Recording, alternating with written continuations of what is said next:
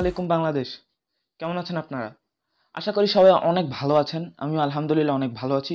তো আপনাদের সকলকে স্বাগতম রাহাত টেকজনের সম্পূর্ণ নতুন একটি আরটিজি নিউজে। আজকেও অনেক খবর রয়েছে আপনাদের জন্য, অনেক দুর্দান্ত কিছু খবর রয়েছে।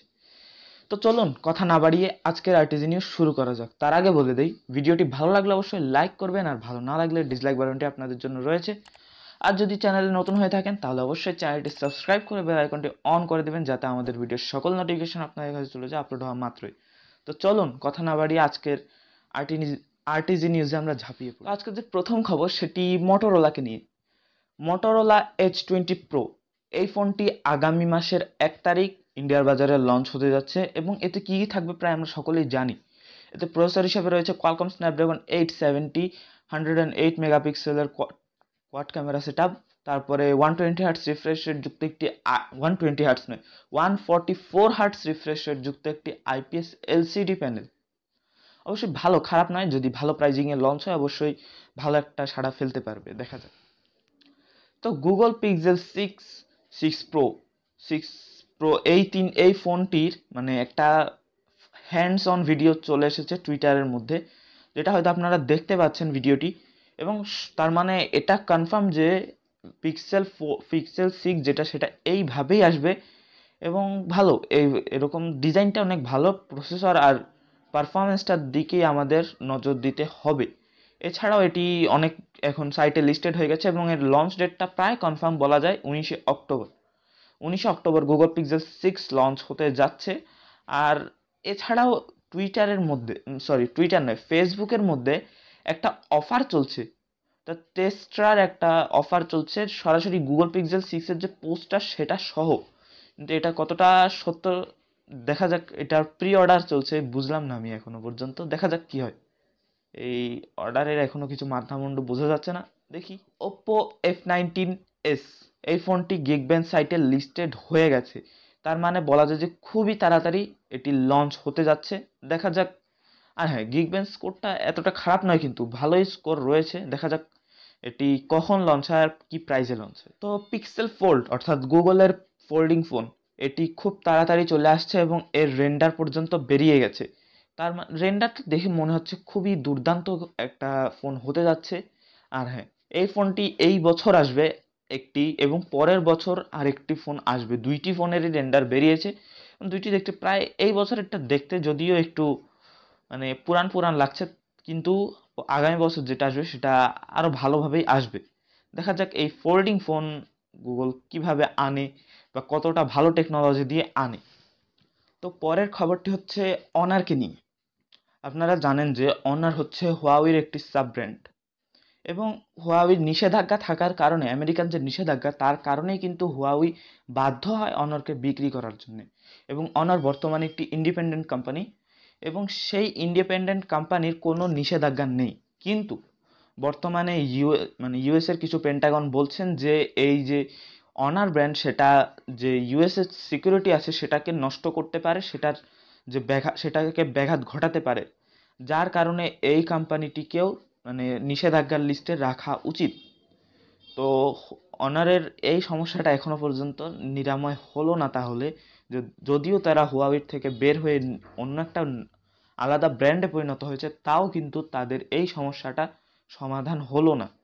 তাহলে কিছুদিনের মধ্যে হয়তো এটার মানে সম্পূর্ণ একদম শক্তপোক্ত কোনো লিক্স পাওয়া যাবে, কিন্তু এখন পর্যন্ত যা বলা যদি এরকম হয়ে যায়, তাহলে আবার অনার একই জায়গায় ফিরে আসলো। তাহলে বিগ হুয়াওয়ে থেকে আলাদা হয়ে কোনো লাভ হলো না, কিন্তু দেখা যাক কী হয়।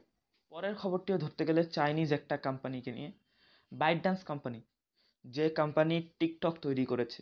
অর্থাৎ টিকটক সারা বিশ্বে ছড়িয়ে দিয়েছে আর তারা নিজের দেশের জন্য, অর্থাৎ চায়নার জন্যই অন্যরকম একটা আইন প্রণয়ন করছে, যেটা হচ্ছে শুধুমাত্র মানে যারা টিনেজার তাদের জন্যই, যেটা হচ্ছে একজন টিনেজার সর্বোচ্চ চল্লিশ মিনিট পর্যন্ত টিকটক দেখতে পারবে বা টিকটক ইউজ করতে পারবে। তাহলে বাং, এখন প্রায় সারা পৃথিবীর মানুষ ধরতে গেলে দশ পনেরো ঘণ্টা করে টিকটক ইউজ করে। এখন চায়নার জন্য শুধু এই নিয়ম যে চল্লিশ মিনিট ইউজ করতে পারবে। এর এক মিনিট বেশি ইউজ করা যাবে না। তো এটা মনে হচ্ছে যে সারা বিশ্বে প্রণয়ন করা উচিত। যদি করে অবশ্যই একটা মানে ব্যালেন্সে আনা যাবে। দেখা যাক এটা করে কি না তো আজকে কিন্তু চায়নার বাজারে লঞ্চ হবে রিয়ালমি জিটি নিও টু এতে রয়েছে সিক্স পয়েন্ট সিক্স টু ইঞ্চের একটি AMOLED display one twenty হার্টসের refresh rate Qualcomm Snapdragon seven seventy eight চার হাজার পাঁচশো মিলিয়াম পরে ব্যাটারি সিক্সটি ফাইভ ওয়াটের সুপার ডার্ক চার্জিং তা এটার প্রাইস যেটা মানে প্রাইজের একটা লিস্ট বেরিয়েছে, সম্পূর্ণ প্রাইস এখনও পর্যন্ত জানা যায়নি, কারণ যখন রেকর্ড হচ্ছে তখনও পর্যন্ত এটি লঞ্চ হয়নি। আর যে প্রাইস সেটা ধরতে গেলে আপনার বাংলাদেশি টাকা কনভার্ট করলে তিরিশ থেকে পঁয়ত্রিশ হাজার টাকা এইরকম দাঁড়িয়ে যায়। যদি এরকম প্রাইসে অবশ্যই আসে, তাহলে একদম কিলার একটা প্রাইস দেখা যাক, এরকম প্রাইসে আসা উচিত। তো ক্যাভিয়ার কোম্পানিটার নাম হয়তো শুনেছেন। এটি আইফোনকে বিভিন্ন রূপে সাজায়।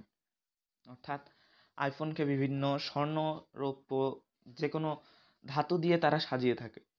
তো এবারে আইফোন থার্টিনও সেভাবেই আসছে এবং তার পুরো ছবিটা বেরিয়ে গেছে। IPhone thirteen mini pro pro max সবগুলিরই কিন্তু অন্যভাবে এবার সাজিয়েছে। সব সময়ের মতো কিন্তু ডিজাইন নয়, এবার ডিজাইনটা একটু অন্যরকম। কাস্টম ডিজাইন করা হয়েছে। দেখা যাক, এই এটা মানে আইফোনের সৌন্দর্যটাও বাড়িয়ে দিয়েছে, দামটাও বাড়িয়ে দিয়েছে। দেখা যাক, এখন আইফোন যে মানে সাধারণ যেটা, সেটা এখনও পর্যন্ত কিন্তু আসেনি। আর হ্যাঁ আইফোনের কথাই যখন শুরু করলাম, তাহলে পরের খবরগুলো দিয়ে ফেলি।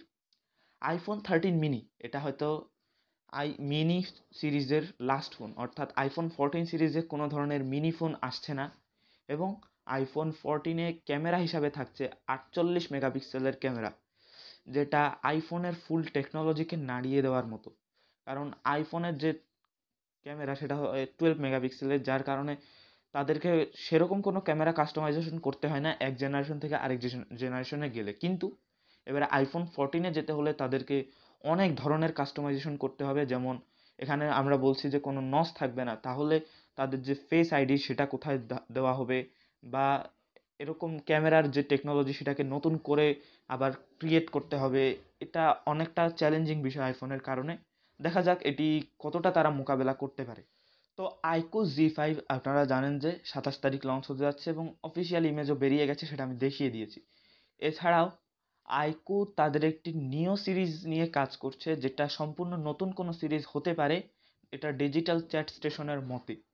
এখন এটা কতটা কখন হবে বা কতটা যুগ মানে সত্য সেটা এখনও পর্যন্ত ক্লিয়ার নয়। কারণ আইকুর নিও, এটা আসতেই পারে, কোনো সমস্যা হয়তো নেই। কারণ আইকুর এত সিরিজ নেই, যার ফলে আরও একটা সিরিজ আনতে পারে, বাজেট সিরিজ বা এরকম একটা সিরিজ আনতেই পারে। তো দেখা যাক এটি কখন আসে। আগামী মাসের শুরুতে রিয়ালমির দুইটি ফোন বাংলাদেশে লঞ্চ হতে পারে।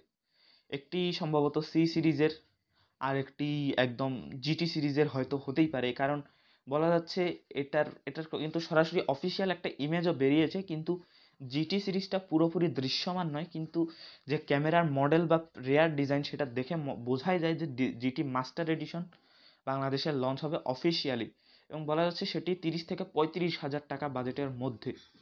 তো দেখা যাক এই প্রাইজে কিন্তু জিটি মাস্টার এডিশন খারাপ নয়। অনেক ভালো, দেখা যাক এটি শুরুতে লঞ্চ হবে, কিন্তু কখন লঞ্চ হবে এটা এখনও পর্যন্ত শিওর নয়। দেখা যাক কখন লঞ্চ হয়। তো বন্ধুরা, শেষ করি আজকের আরটিজি নিউজ আশা করব যে নিউজগুলি ভালো লেগেছে। ভালো লাগলে একটু লাইক করুন, আর না লাগলে ডিসলাইক করুন। আর হ্যাঁ অবশ্যই চ্যানেলটি সাবস্ক্রাইব করুন যাতে আমার উৎসাহটা একটু বাড়ে। হ্যাঁ আমি চলে আসব আবার আগামীকাল আপনাদের জন্য সম্পূর্ণ নতুন একটি ভিডিও নিয়ে। Till then stay home stay safe and make your own world of technology আসসালামু আলাইকুম।